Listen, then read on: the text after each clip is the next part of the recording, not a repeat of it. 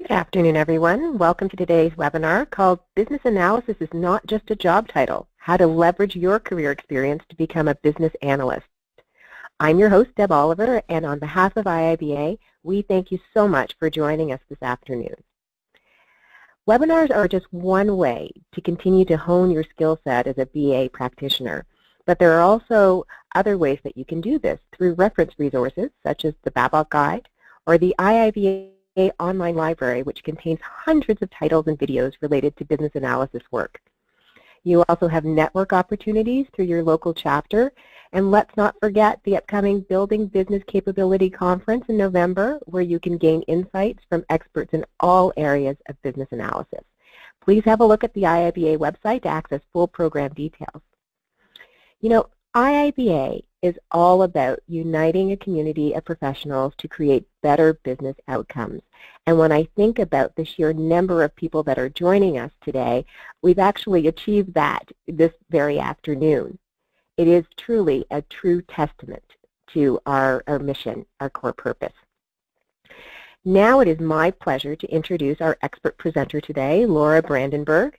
Laura is a well-known author with more than a decade experience within the business analysis field. In addition, Laura is truly a recognized leader in the BA community. And with that, please welcome Laura Brandenburg. Well, thank you so much for having me today I accidentally shared my webinar webcam. There we go.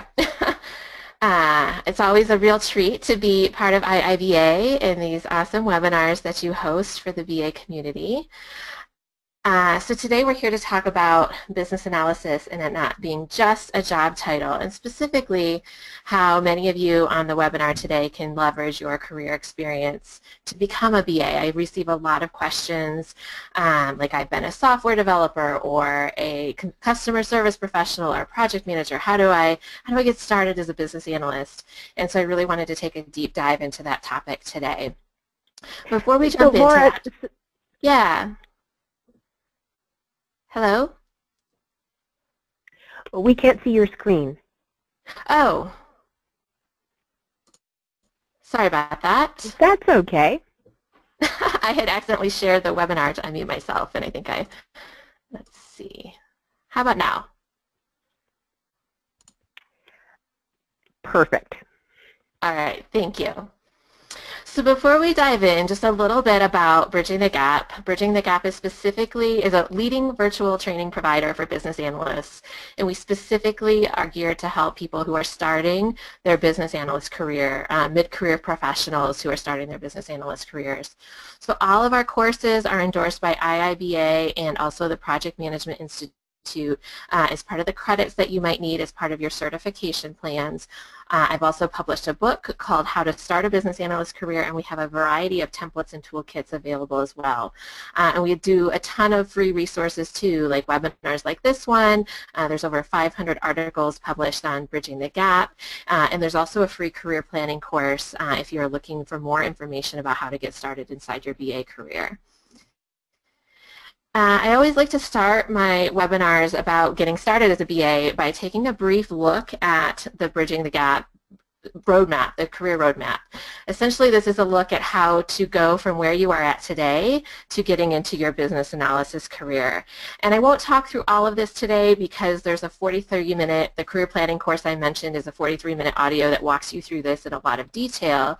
Uh, but I do want to emphasize specifically your transferable skills and how they relate to where you're at on the career roadmap because that's the piece of this puzzle that we're talking about more today.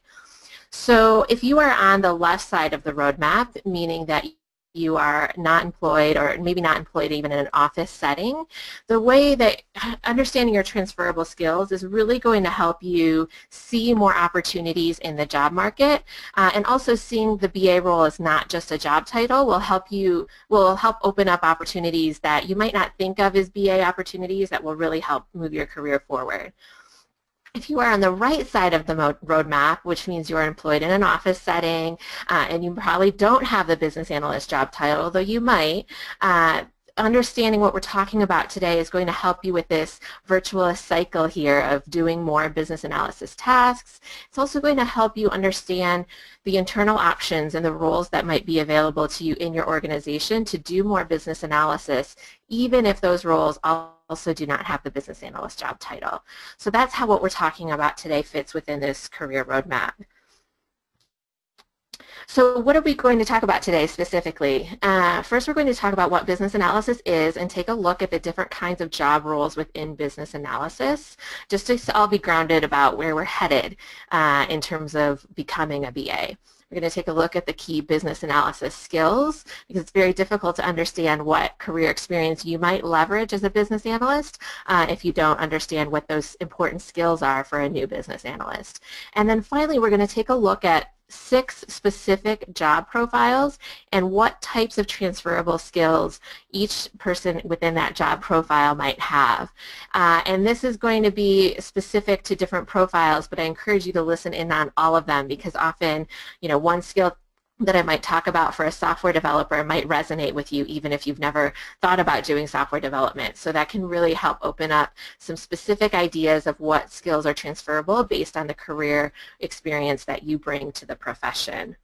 Uh, and then afterward, I just wanted to note, um, we will have time at the end for Q&A, um, but whenever we host a webinar like this, we always receive more questions that can be answered during the time that we have.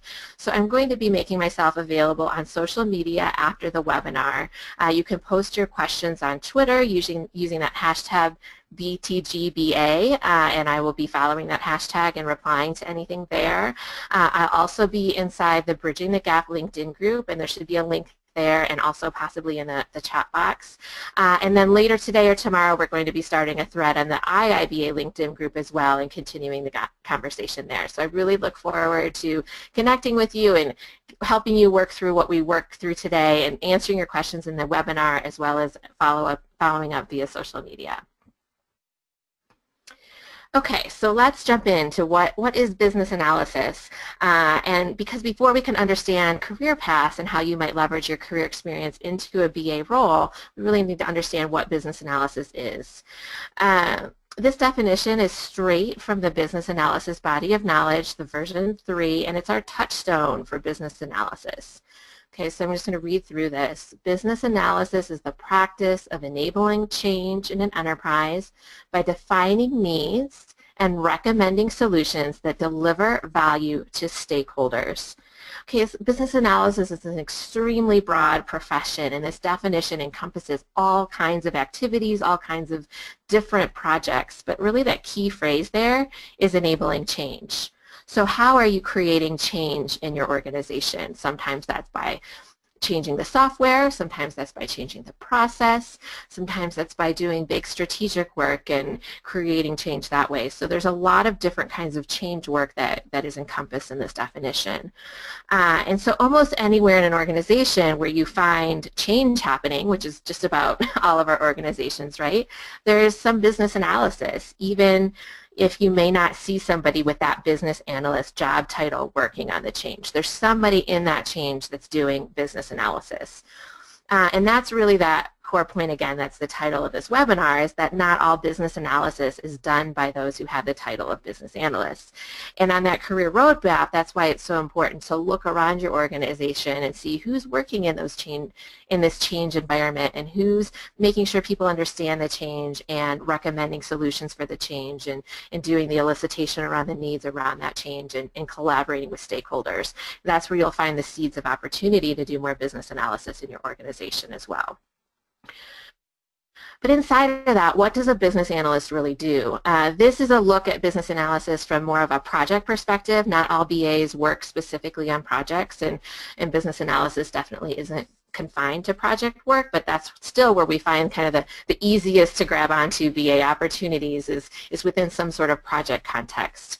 Um, so at the beginning of a project, the BA is going to be eliciting information. You'll hear people talk about, oh, I feel like I was drinking from a fire hose of, of stakeholders, right? Stakeholders telling me things about what they want and need and, and, and want the system to do or want the change to be or the problems that they have today. And that is called elicitation or discovery. And that's where we really start by just asking questions, understanding why, and really getting clarity on the problem to be solved. That's our first task as a BA. What problem are we solving by this project or this initiative? What, what problem will this change solve? Uh, and as we get alignment on that through our multiple stakeholder groups, we start to nail down the scope of what the solution looks like. Uh, and at that point, solution does not have to be a technology solution. It could also be a process change or, or some sort of an organizational update. Um, but often a lot of changes that we, we, we see BAs working on do often do include some aspect of a software solution as well. Um, but we put some scope around that. What are the key features that are going to be part of the solution? What are the key processes that are going to be updated? Uh, and that's that's our touchstone for the project to know what are we tracking to, what is the end result of this specific initiative. And from there we dive more deeply into the requirements. So this is where we might get to what does you know the specific piece on a specific screen look like or a field that we're adding to a database and to a user interface or the way that a specific workflow needs to change and the, the, step, the, the, the different steps that a business user might need to take to make sure that the workflow is implemented successfully. Uh, and again, that's just like another level of detail to fill in the gaps between between understanding the scope and really making sure that the change comes to fruition. Uh, and that's where we think of the requirements work that a BA does. There's a lot of analysis and documentation and, and modeling that goes into that work. Uh, and all throughout this, we're communicating about the requirements. So we're gathering, again, continuing to elicit information from stakeholders about what they want and need and how that solution is going to fit with them. And we're also communicating out to people who might be responsible for implementing the solution Um, which includes our technical developers and, and testers and, and technical writers and corporate trainers and any other stakeholders that are in part, part of implementing that solution for our organizations. So that's the high level view of like what a business analyst is and, and what they do. What we see in the job market today though is that there's a ton of different types of job roles and so it's not like there's one role that makes up business analysis and this can be really confusing when you're first starting because you're like well it, this seems like it's a business analyst job but maybe it doesn't have the title and, and I'm doing all these other things too or it's very specific in a certain way. Uh, these three categories of job roles are not something I made up they are straight from IIBA's competency model. And if you don't have a copy of that, I'd highly suggest downloading it. It's one of the member resources that you receive as, as part of becoming a member of IIBA. Uh, and they help us look at the job market, which can seem so chaotic and fragmented, and make, make sense of it. So the first category are what's considered hybrid job roles. And this is when you're doing business analysis and you're doing something else. So that something else might be quality assurance. Uh, that's a very common combination where I both write the requirements and then test the solution against those requirements. Another very common combination is the project manager and the business analyst. Uh, often those, those people are project managers. They don't even think of themselves as business analysts yet, uh, but they're really doing both of those roles in their work. Uh, and so you might see that under a project management role, but, under, but kind of see a lot of the, the core BA responsibilities that we talked about. Uh, another very common combination is somebody who's a software developer or technical lead and a business analyst. So there's some sort of IT responsibilities along with BA. And you can really continue to um, extend this into multiple different types of job roles and kind of put these combinations together. Uh, there's also situations where you see people wearing three or four of these hats. Uh, and that's a lot of responsibility to hold on to, but it's not uncommon in the job market today, especially in smaller and less formal organizations. And you would still be considered to be part of the BA profession, uh, even though the BA work is maybe is only part of your role. So that's hybrid. Uh, next, let's talk about specialists. And this, these are roles that do business analysis and probably focus more on business analysis, but have some sort of a special way of doing it. Uh, and so that specialty could be a methodology, it could be a domain, it could be a specific tool. So methodology, agile is really common way um, and, and best practice way. It's becoming a, a very big best practice in the software development arena of how we go about managing software development the software development lifecycle. And there's a specific way that we handle requirements and handle our collaboration aspects of the requirements if we're a BA in the Agile environment. And so experience in Agile can be really relevant to an Agile BA role. Same thing with Six Sigma. Again, Six Sigma is not to do with software specifically, but more of a way of, of improving your processes. And there's a specific methodology around how to improve and continue to iterate and evolve your processes within Six Sigma. So you might see BAs who are specialists and have their Six Sigma black belt. Uh, you may see roles that are looking for BAs that have that kind of experience.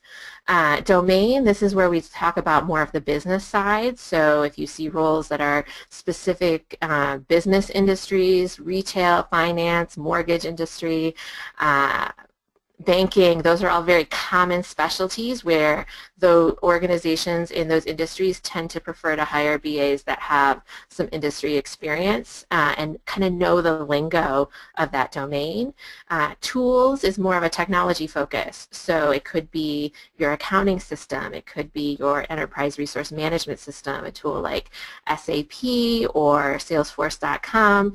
And by knowing how that tool works, and if an organization has already decided to leverage that tool or migrate to that tool, you can help become be very specific in how you elicit the requirements and and are able to leverage the capabilities of that tool. And so it's another special specialization we see. And that really that list goes on and on and on we could talk about a lot of those uh, different specialties, uh, but you'll see that pop up when you see job descriptions that have these requirements that seem like they're coming out of, of left field for what you've understood about business analysis, and that's usually because there's some sort of a specialist role.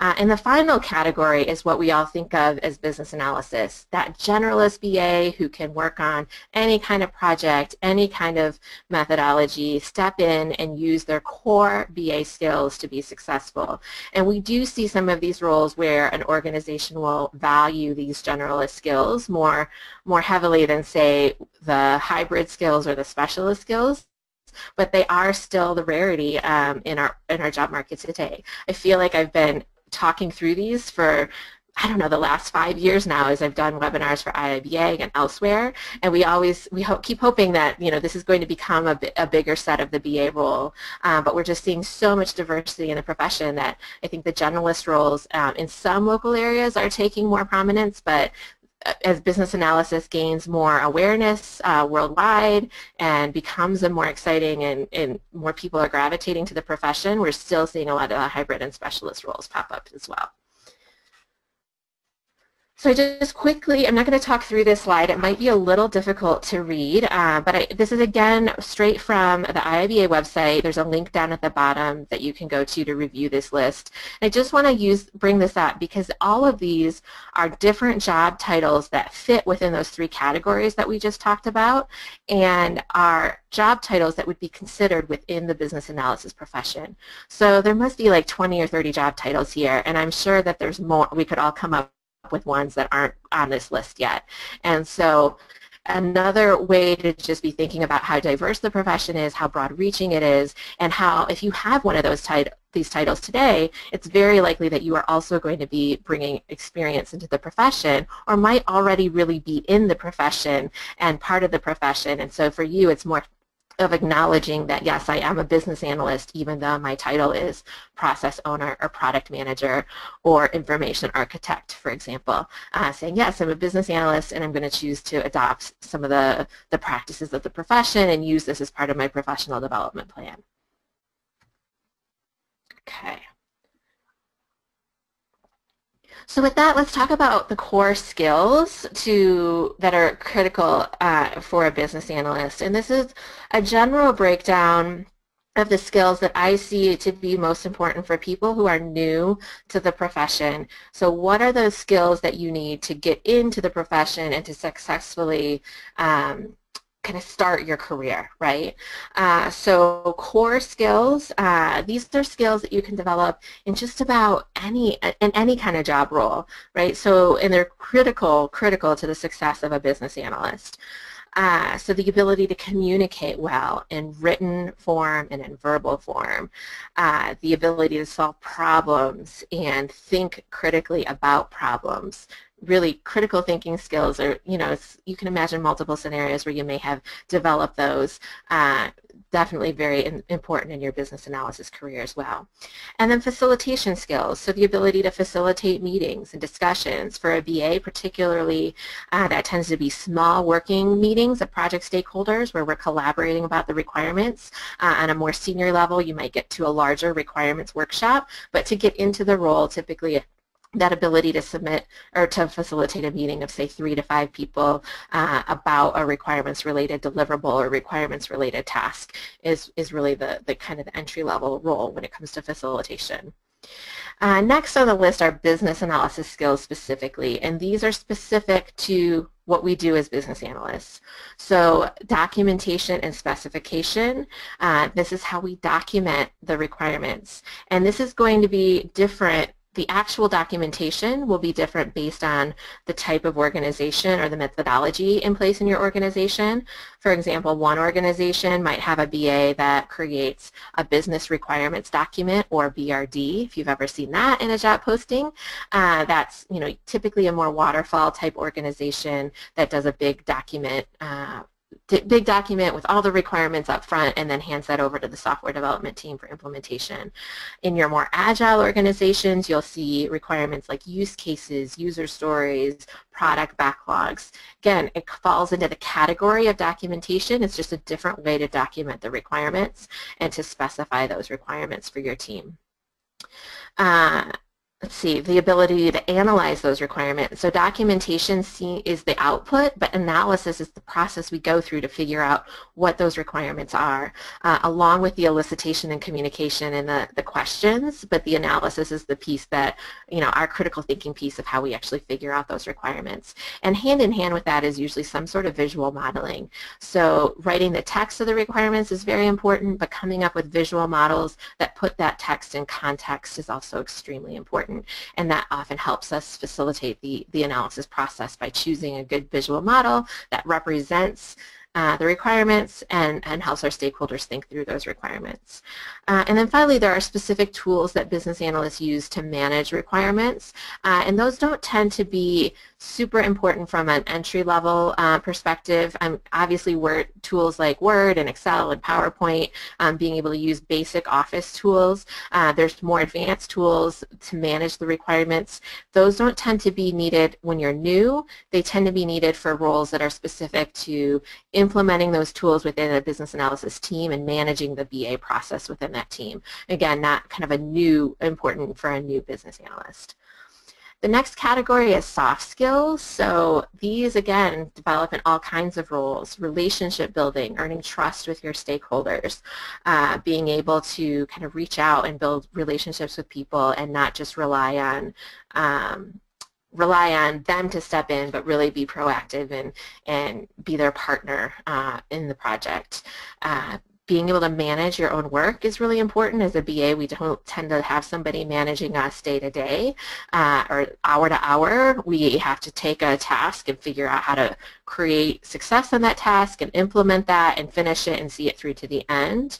Uh, having a thick skin, we get a lot of feedback as BAs and not all of it is, it by but by design, it ha almost has to be critical feedback. We might put a draft of a visual model out there, and our best outcome is that our stakeholders tear it apart for us and help us rebuild it so it better represents their needs. And if you're thinking that you have to get that model perfect the first time, uh, it can feel like that takes a bit of a thick skin to get that feedback. And then finally, um, being able to handle ambiguity. So at the beginning of a project, there's a lot of uncertainty, there's a lot of ambiguity, and business analysis is really all about taking ambiguity and make bringing more and more clarity to what the desired outcome is, to what the requirements are. So you don't want to live in ambiguity forever, but you have to be able to handle some ambiguity at the beginning of the project and then gradually lead your, your team and facilitate your team to getting more and more clarity around the requirements. Uh, and then finally on the, the far right here, uh, we have our specialist skills. And these are the types of skills you see pop up for those specialist roles. And they might be technical, domain, methodology specific. We kind of went through some of those uh, when we talked about the specialist job role.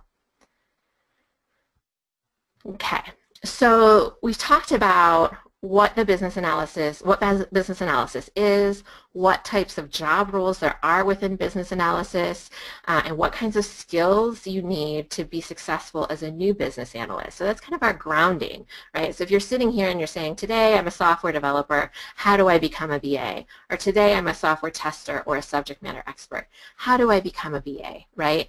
You, you've got to figure out kind of where you want to go within that profession, and then you can craft a plan to get there. What I wanted to share now, because I receive a ton of questions around how specifically do I leverage my career experience uh, and what what are the next steps I should be taking given my career profile. So just talk about some of the more general and commonly common career profiles I hear about and how um, what the, the transferable skills that you might have are and what opportunities you have to grow your experience and to continue to expand your experience and move closer to more of a BA role. So that's what we're going to talk about next. We're going to talk about six different roles, software developer, customer service representative, software tester, project manager, technical writer and subject matter expert. Uh, and then I have that, uh, insert your career background here. Uh, I just picked these six. We can definitely talk about your specific career background in the Q&A. Uh, and, and also I would still encourage you to listen in because most likely I will touch on something that is going to resonate with you in one of these other profiles. And so, you know, listen in to all of them and, and kind of pay attention to what resonates with you no matter what your career background is. So first let's talk about software developer. So a software developer is the person who's responsible for building or developing the software. Uh, often that involves coding, technical design, uh, lots of different technical skills, uh, and and so you've kind of you've got that technical background as a software developer that really suits you well to be working as a BA on a more IT focused project. Uh, and those are some of the transferable skills that you have, right? You've worked on projects, you see how projects go from beginning to end and that general exposure of how projects work, specifically software projects, can be really beneficial. Um, as well as can understanding the possibilities of technology, right? You know what technology can do because you've built the technology that can do those things. And, and so you can help stakeholders envision solutions that they may not even be thinking about because you do understand what technology can do for them. Uh, you tend to be highly analytical, and so this helps with the requirements process. You've probably received requirements that were incomplete or had gaps, and you figured that out and either filled in those gaps with your own idea of requirements or ask questions to fill in those gaps and that's that's that analytical piece. You've got that analytical piece down of how do I take uh, a requirement and build it out into a solution. Uh, you might have specific knowledge of specific products as well, um, like a specific tool that's used in the business community and how to administer and enhance and migrate an organization to that tool. And you may have even done some specification work uh, depending on the methodology in place in your organization. And it may even be very close to requirements if you start to look at it and match up what you've done with requirements. That really depends on how close your software development role and how much of a hybrid role you are in when it comes to that software development BA hybrid that we talked about. So what opportunities do you have as a software developer? One of the most important things is to make sure that you're interacting directly with your business stakeholders. So uh, so often, right, you might be interacting directly with other professionals on the team or uh, with the BA or the PM, and how can you get yourself a seat at the table so that you're first maybe hearing what the business stakeholders want and then having those conversations with them. Uh, and you don't want to work around your process to do this, but often there's opportunities to get into those interactions in some way. Uh, and then as you're doing this, the other opportunity is to really practice using the business terminology and to practice losing that technical jargon.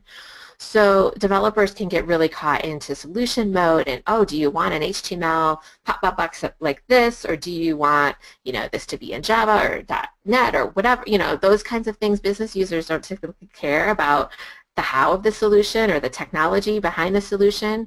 They are going to talk about what they want a system to do, maybe, or what problem they want to have solved, how they want things to work, or what's wrong with the system today. And so really practicing using that business language is so important, uh, especially when you come from that technical background. Doesn't mean you have to forget that technical jargon. It just doesn't become your primary mode of communication, especially when you're talking to business stakeholders. Okay, so let's, I wanted to start with an IT role and then bounce right to more of a business focused role because what I see, I see a lot of people think, oh, you have to be technical to become a business analyst, or if you're technical, they think you have to be a business person to become a business analyst because you see both of these sets of requirements in the job role. Uh, and what I've seen in my work helping people get started as BAs, it's about 50-50, technical background, business background. So let's move to a business background now, and, and we'll start with the customer service representative. So a customer service representative, uh, this there could be a lot of titles around this too, but just think of somebody who is on the phone interacting with customers either around a sales process, so it could be almost a sales representative too, or fulfilling that sale and resolving issues related to that the that the customer has using the sale, uh, or sorry, using the product or the service that they purchased.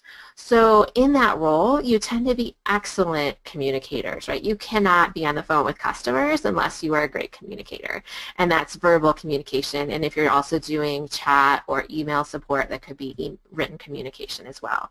And most likely, if you're really good at that role, you're also good at relationship building and building relationships really quickly because you have just you know, you've got a frustrated person on the phone or that you're helping handle with something and you're going to be building a relationship with them and earning their trust really quickly.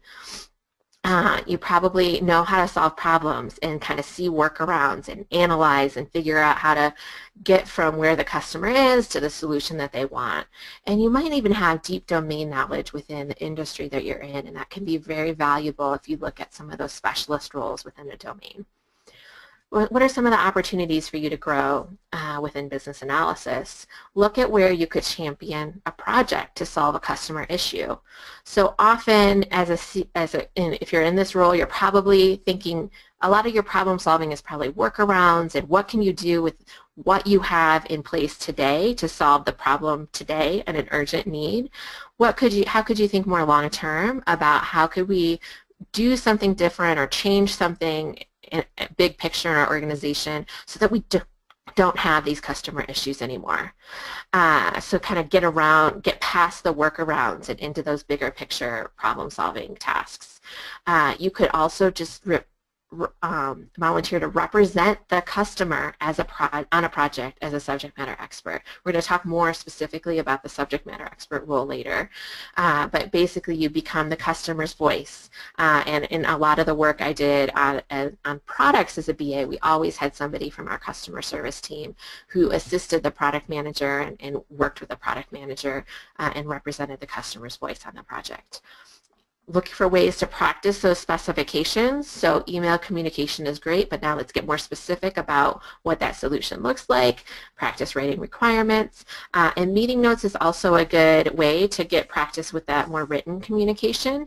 Uh, so you could volunteer if you're facilitate or if you're in a meeting to take those notes. It helps you be a more active listener, uh, helps you, gives you license to ask follow-up questions and make sure that everybody's really uh, speaking clearly and, and, talking to each other clearly uh, and gets you some exposure when you start sharing those meeting notes for the team.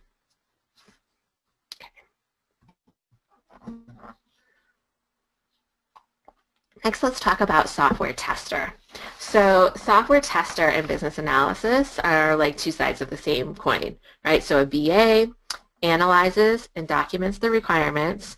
The tester confirms that the solution meets those requirements requirements. And often software testing happens in the context of, well, of a software project, right? You're testing the software of the solution.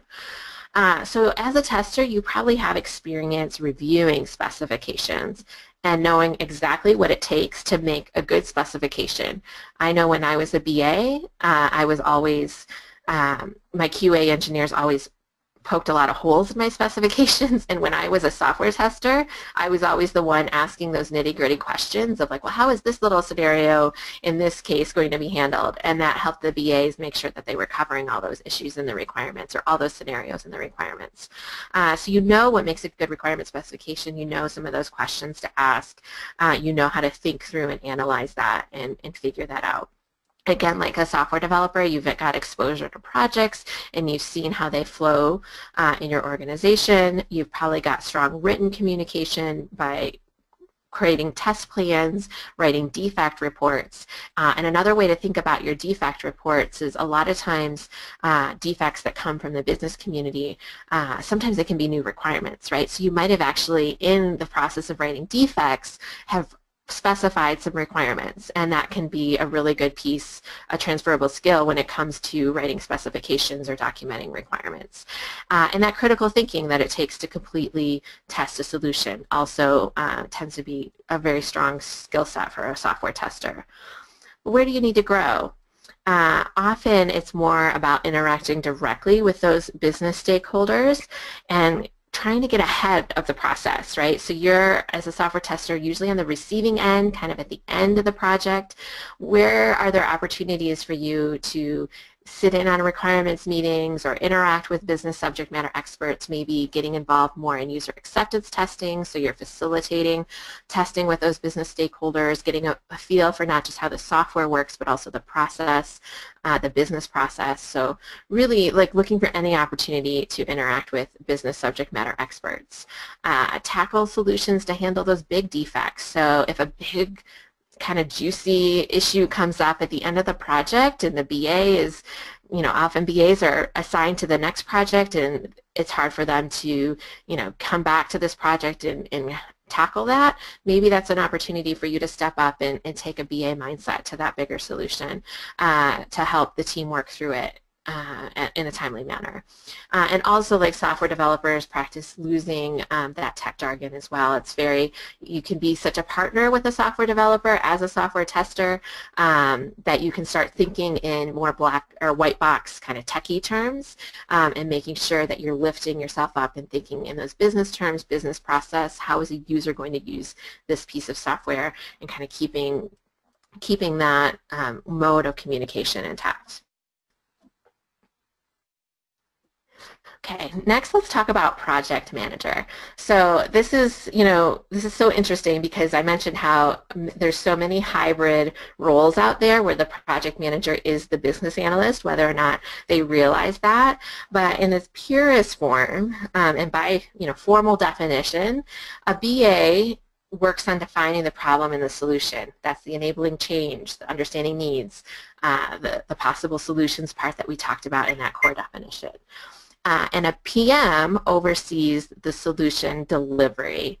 So that can be budget, timeline, how are we going to solve this problem and what does the solution look like and who is all involved in creating the solution.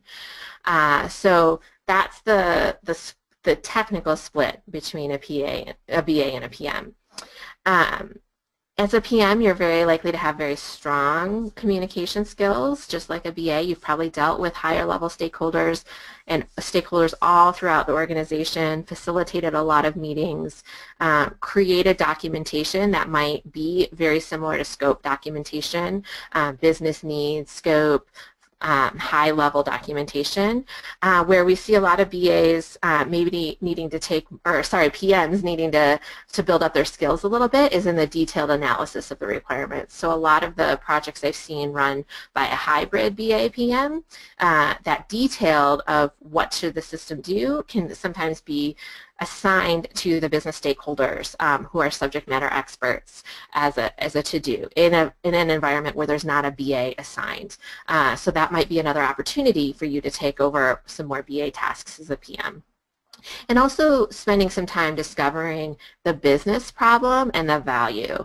So as a project manager, you can get really focused on what can we do within this budget, what can we do within this timeline, how is it going to work, what's the scope in terms of timeline and budget and, and features, but not so much in terms of what's the core business problem and the value and how can we um, how can we understand that problem? So just spending some time not thinking about how we're going to manage the project, but what the problem is and why the project exists in the first place. All right, and we're on to our last profile, which is good. We should have lots and lots of time for questions here. Um, oh, no, actually we have two profiles, sorry, but we still should have lots of time for questions. So I've mentioned subject matter expert a few times uh, in terms of that being a role that you can play in your transition to business analysis. Uh, and a subject matter expert is really uh, anyone who sits on a project and represents an area of the business, and they really are a business stakeholder on a project. And as an SME, you could have any number of job titles. You could be an accounting representative, a human resources manager, corporate trainer, marketing analyst, um, you know, the sky is the limit. Any role that has, or any business stakeholder role really can serve as a subject matter expert on a project. And one of the core transferable skills that you have is that knowledge of the business domain, which can be so important uh, when the the domain, you know, for those specialist roles. So that could be your business domain. It could also be a, a, functional domain. So like a human resources representative would understand the human, how human resources runs and how the kinds of functions and processes that are typical in a human resources department, uh, which could be transferable to many different industries, but is specific.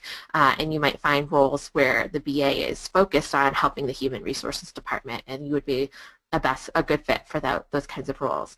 And then depending on how far you've taken your work as a subject matter expert into business analysis, you could also have analytical skills, communication, facilitation, specifications, like all different kinds of um, roles there. And it's really, you're going to have to do a little digging to figure out what map, what specifically maps based on the experience that you've had and the kind of work that you've done. Um, what other opportunities do you have? Uh, look at the projects that you're involved with today and see how you could become more of a contributor so often a subject matter expert is called into discussions and asked questions. Is there a way for you to do some more writing or uh, do some elicitation yourself within your team? Uh, is there a project that you could champion? Uh, so instead of waiting for a project to start and being assigned as the SME, is there a project that you could champion from the beginning and, and work some of that on some of that needs analysis and, and scope documentation that happens at the beginning? Uh, and some Similarly for the more detailed analysis. So if you're thinking about um, you know, what you want a system to do, could you create a list of requirements or mock up a, a, user interface screen of what you'd like or map out a process flow? Those would be different visual models. So practice using some of those BA techniques uh, to communicate what you would like out of a of a process or of a, of a project and to share your expertise uh, in more analytical ways. And then now we are finally at the last one, and that's the technical writer. So, and this tends to be a really common path into business analysis, and we see we see a lot of technical writers growing into BA roles. And a technical writer is essentially someone who does the functional or some sort of specification. Typically that specification gets created at the end of the project to reflect what was actually built or changed. So a technical writer might create the um, the user manual for a product or they might create the help documentation for a product or they might create like the process documentation for the internal users to use for that product right? So that but they're typically at the end kind of once the, all the discovery process has happened really creating clear documentation that articulates what how the change has been implemented or what should happen once the change is implemented. Uh, so transferable skills, very strong written communication skills. Unlike a lot of the other roles, uh, technical writers are very tend to be very comfortable with things like requirements specifications and a variety of different visual models that represent the current state of the of the of the system and process. Uh, very analytical because you've probably discovered what that current state is to put it into the documentation. Uh, and sometimes I've even seen technical writing roles where you really are doing the, the detailed requirements in partnership with somebody who's more on the other side of the business analysis coin. Um, so sometimes you're, you've really got that visual modeling, modeling and requirements experience. So some opportunities to grow even more into a BA role. Um, be more proactive about some requirements discovery and you could start by defining requirements for the technical specs for your projects, right? So use that as an opportunity to, to kind of scope a mini project inside of a project. Uh, more requir requirements for the technical specifications, perhaps champion a project that you see um, you know, an issue maybe like there's, we don't have a great way of doing our help documentation. We could really use a new tool that would integrate with our systems to, to do the help documentation and, and champion a project like that and take the role of a, of a stakeholder subject matter expert uh, and see that through to be, from beginning to end. Uh, and also be working, thinking about what meetings could you help facilitate uh, and becoming more collaborative in your process. So uh, could you facilitate a review of the technical specs or the help files, maybe with internal stakeholders in your organization, or, or maybe you do like a, um, like a usability study with uh, actual customers of that documentation uh, and get their input and feedback on it so that you can use that to improve your documentation skills. Whatever you can do to get more interactive and facilitative about the work that you're doing, even within technical writing, or it could be without as well. Because eventually you want to get ahead of the process, right? You want to go from being the recipient of what the solution is and documenting it to discovering what that solution is and, and creating requirements to specify what that solution will be. Okay, so we've covered a lot of career paths and, you know, I know that if you're listening in today and you're like, oh, this business analysis thing, it sounds like the path that I want to be on, that you have some sort of transferable skills because you wouldn't be able to say that unless you knew that you had, unless you had some experience to, to draw from something that resonates. So you're starting from somewhere and you have some of those skills and kind of go back to that checklist of skills that I gave you at the beginning. Think about, download the IIBA competency model. It's another more detailed checklist to use uh, and, and be thinking about, I, I really think, you know, everybody on this call today who really wants to be a BA has some sort of transferable skills to draw from. Um, and this is not, again, an exhaustive list I, in fact, I have an article on Bridging the Gap that has 13 jobs that can lead to a BA job. And if you're interested in that, feel free to email me. I'll have my email address up at the end or reach out to me on social media and I'll share it. Um, but even that 13 is not comprehensive. It's just an expansion and an extension of what we talked about here today. But I do, we talked about a lot of information. So again, we talked about the BA role, the different types of roles that there are within business analysis, the key skills, and some patterns for you to help come up with your transferable skills. So what, what's your takeaway from today? What would I encourage you to do as a next step? Um, because it's really up to you to take an honest assessment of where you're at against your business analysis career goals and start assessing those competencies you have, right? So where are the places that you have transferable skills um, and where are the competent, what are the gaps? Where are the areas where you need to practice and really fill in those gaps with learning. Um, and then you're really empowered to select a book or a training program or some sort of tool that's going to help you learn what's, what a BA does to fill in that gap. And most importantly, and I have it underlined here, is applying what you learned.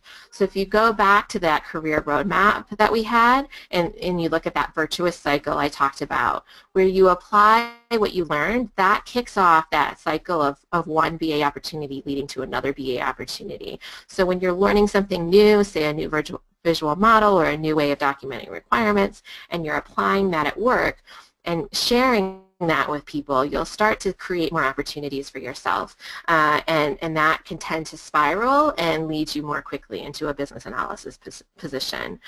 Um, and so all of our training programs at, at, Gap really provide time for that application because I, I really feel it's so important. And then you have a connection with an instructor while you do that so that you can ask questions and get feedback on your work and, and not be kind of in a vacuum of like, I learned all of this, but now how do I apply it? And so be looking for ways to bring in that kind of iterative feedback and application and into your professional development plan. And just to reiterate, like my final reminder, because I think it's so important, like business analysis is not just a job title, right? It's a way of doing work within organizations. It's, it's enabling change. You're going to find business analysis all across your organization when you start to look for it. It actually becomes really difficult not to see people as business analysts and very common in being like going up to people like, do you know you're, you're really a business analyst and you're doing a lot of business analysis type of work. Uh, and that's, that's the, the switch if you leave with one thing today that I'd like to encourage you to do is to start just seeing business analysis everywhere and not just in a job title or in a specific role within your organization. All right, with that, uh, I have some links here to connect with me, and I know we probably have a, a lot of questions, and I'd love to get through as, as many as we can, Deborah. That sounds great. Thank you very much, Laura. And just to reiterate what Laura said at the very beginning, uh, Laura has kindly offered to make herself available after this webinar. And if you go into the chat box, you'll see that I've uh, provided the uh, naming convention for Bridging the Gap, the LinkedIn group, that, um, that you can pose some questions, as well as the, the Twitter um, account so that you can pose those questions directly to Laura. But we do have some questions here um, within our own question box. Uh, and I, would like to ask, ask, you, if you may, uh, Laura, can you go back to the technical writer profile? Sure. We, have a, we actually have a number of questions on that one. Interesting. Yeah. there we are. okay. There is one thing that is mentioned in terms of opportunities, champion a project. Can you talk a little bit about what's expected there? Sure. So a champion, uh, you can look at that at, at, a lot of different levels. So often the champion of a, of a project ends up being a sponsor. We think of that as the sponsor, right? So the person who might be at a higher level in the organization um, that has budget authority that can kick off projects and be the sponsor. Uh, but as a champion, you don't have to be at that level to, to champion or kickstart a project project, you're probably going to need to find a sponsor, right? But a champion is going to be somebody who understands that problem that's going to be solved, has a vision for a better solution that's a long-term solution, not just the workaround that we're going to do today to get through this, but here's how if we solve this problem in a long-term proactive way, it would realize a huge benefit and solve a big need in our organization. So you're essentially creating that first creating a vision for the first part of the project, that, that problem solving and the needs analysis that a BA does at the beginning. Uh, and then you're looking at, in your organization, how do new projects get started? right? So is there a way for you to do this informally and, and create a little project team and, and get something done kind of outside of the normal scheme of how work flows in your organization? I've definitely done that and kind of been the champion of rogue projects that just kind of fly under the radar. Um, or is it something that you need to reach out, get resources for, flow through your normal development process or your normal project process. So there, that's where it takes awareness of how things get done in your organization to really be a champion through it. And then as a, you know, if you're following a, a project process, then you become a, a, a SME or a SME essentially on that project, um, or perhaps even fulfill other roles on that project as well, depending on who gets assigned to the project and what gaps you need to fill. Great question. Great. Yeah, and great answer. Thank you. So uh, we talk about people that already have a role and then they're transitioning into a business analysis practitioner mm-hmm. role. Can we look at a, a fresh graduate? So what are the things should uh, a newly uh, graduate uh, graduate what kinds of things should they be thinking about in terms of how to set themselves up for success in starting a business analysis career? Right. I think as a fresh graduate, you really want to be looking at what opportunities do you have while you're in school to get employed in an office setting uh, through internships, perhaps volunteering, perhaps part-time work you do in the summer or part-time work you do while you're employed or while you're in school, pardon me. Um, so that you're getting that exposure to the office setting. Uh, so when you leave school, you have already have some experience that you can draw from uh, in terms of leveraging that right into a business analysis role. Uh, and the other, the other path for fresh college graduates is to look around in your local area or the local area you desire to be in and see what organizations are specifically hiring entry-level business analysts. It tends not to be the majority of organizations, but there tend to be some you know, a couple in every local area uh, and targeting those roles specifically uh, in your job search um, because they're going to be the ones who are open to hiring uh, people who, who haven't been exposed to the office setting type work yet and the kinds of things we were talking about in the webinar today. Hmm. Great. So we talked a little bit about um, the IT experience and the technical experience that can be applied to more of a, a, technical BA. But what about more of those soft skills? Can we talk about um, things like facilitation? Do you have any suggestions for a person who has more of a technical background who wants to get into more of a business analysis role, how they can actually uh, develop those facilitation skills?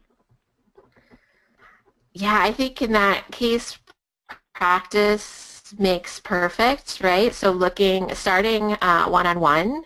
Uh, so how do you have conversations today, whether it's with your BA or your PM, uh, and thinking of those in a meeting context. So do some learning about what it takes to plan and run a, an effective meeting, and then apply that to any sort of conversation you have. It could be your manager, it could be somebody else on your project team, and start practicing those tools, uh, and then opening yourself up to being invited to meetings uh, and offering to take notes of those meetings is a good first step uh, and then eventually facilitating those smaller working meetings that we were talking about. You could also do that in the context of your own team, right? So it doesn't have to be a business-focused meeting to start with. You could facilitate a meeting with the other software developers on your team to talk about how you're going to improve a process within your software development organization or how you're going to implement a new tool or what kind of coding standards you're going to use. So look really broadly just for that opportunity to lead and facilitate uh, and not confine it to being like the perfect BA experience to get started. Great. I have this question, and I really like this question. So if you're looking at transitioning from uh, a, another role, uh, professional role, into a BA practitioner role, where do you recommend a person aim? Should they be looking at entry-level uh, business analysis roles, or should they be looking at something a bit higher, especially if they may be um, mid-career in their previous uh, role? Oh, that's a great, great question. I know, and, I like that. Yeah, yeah. uh, most often, what we see mid mid-career professionals transitioning into is not the entry-level roles because those are designed for recent college graduates. They have salary levels that recent college graduates want uh, and, or are open to and are not typically, you know, if you have five to 10 years of career experience, it's not going to be a great fit for you. Uh, and so most often we see people migrating into roles that are like mid mid level roles three that three to five years of experience as a BA uh, I have seen people who have migrated or transitioned tr directly into senior business analyst roles because they've realized how much they've done of this in their career background and are really able to position themselves as a senior business analyst. Uh, other times that happens is if you have a really strong area of expertise uh, and you find a perfectly fit, like a perfect fit specialist role, a lot of times that expertise is really valued uh, and can help you move right into a senior level role as well. Uh, so definitely do not confine yourself to those entry level positions. There's uh, there, yeah, there's a, only so few of those opportunities. And I think there's a, one of our archive webinars about the debunking the top myths. We talk specifically about that in a lot more detail. Excellent. I just want to remind everyone that you will be available um, for questions at um, your LinkedIn group as well as, as Twitter uh, because uh, there are a number of people that have uh, very specific questions that they want to ask of you. So that's a great opportunity for them to follow up. But I think that we have time for one more question. So we talked about the different roles. Can we talk a little bit about industries? What are the kinds of industries do you think would be amenable to using transferable skills for a business um, analyst role or a business analysis professional role? Yeah, that's a that's a great question because I I always think of the industries where we see the specialists so often Um, and is that the question, Deborah? So what industries can I leverage my specialization, or if I don't have a specialization, what industries are open to me? So really it's, you know, I, I, want to use my transferable skills. So when I look at the different industries, you know, what are those, those industries that would really be open to um, looking at a person with transferable skills? So whether it be banking, whether it be um, insurance, something like that, just to give people a sense of um, some of the areas that they can look at. Yeah, and it's almost like you're looking for a gap there. So what happens when I'm looking at job postings is you'll see a line item for a specific industry in those skills, you know, in that posting, and then there's this uh, like other category where you you don't, and it's always just been a vacuum to me. So I don't have this like list top of mind that I could recommend, but kind of avoiding things like finance and mortgage and real estate and banking because those tend to want specialists. Again, you there's always exceptions to every rule, and looking for the jobs that don't have those requirements in them. Uh, and so you're not necessarily going to have to target a specific industry if it, you want to be flexible in that. Uh, and you're really not targeting a specific industry, you're targeting kind of anything but those industries that, that prefer specialists. Excellent, thank you. Yeah. Um, yeah. It's 2 o'clock. So we are finished with the time that we have allotted for Q&A during the webinar. But again, please do contact Laura and, and pose your questions with Laura as in the two areas that she has indicated. Um, within the chat box, the hyperlink uh, is not activated for Bridging the Gap LinkedIn group or for the Twitter account. Um, it's just a, a, default within the chat box, but you can simply Google each of those different um, avenues and be able to access the, um, the question posting that Laura will, will begin. Okay, is there anything that you want to add about that, Laura? No, the, the um, links on the slide I think should also be active. So if you're able to click on those, feel free to do so. Yeah. And uh, you can also, yeah, if you go to Bridging the Gap, they're in the footer too. So if you have trouble finding them at all, uh, just go ahead and go to Bridging the Gap and look at the footer. Oh, excellent. That sounds yeah. great. Well, thank you very much. And uh, with that, we will say uh, good afternoon, and please join us again. We will have Laura back actually um, early 2017 to help us again with uh, our business analysis uh, career and, and providing great insight on what we need to be able to think about to move forward. So thank you very much, Laura, and thank you to everyone that was able to join us this afternoon. Yeah, thank you, everyone, and thank you, Deborah. Okay, bye for now.